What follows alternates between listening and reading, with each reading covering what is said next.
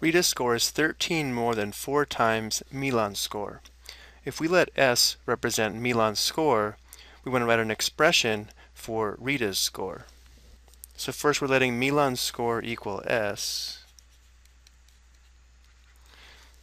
We want an expression for Rita's score.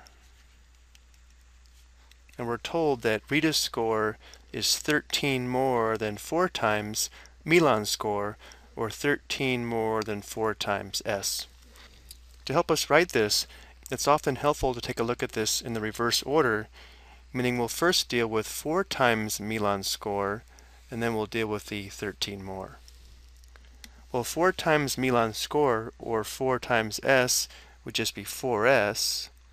So 4S represents 4 times Milan's score, but we want 13 more than 4 times, so our expression for Rita's score is going to be 4s plus 13.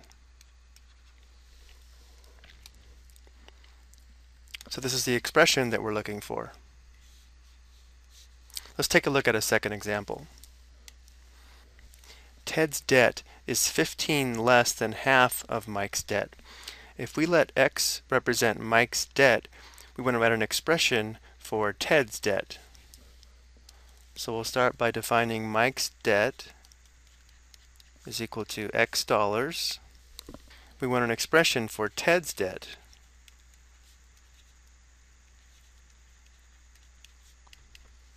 which again is 15 less than half of Mike's debt. Again, it's going to be helpful if we look at this in the reverse order, meaning we'll first write an expression for half of Mike's debt, and then we'll deal with the 15 less. So to find half of Mike's debt, or half of x, there are two ways of doing this.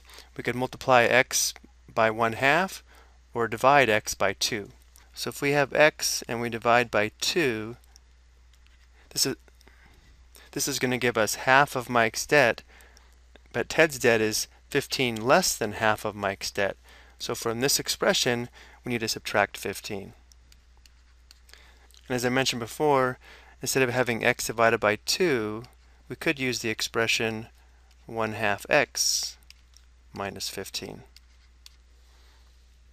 These two expressions would be equivalent, both expressing 15 less than half of Mike's debt when Mike's debt is equal to x.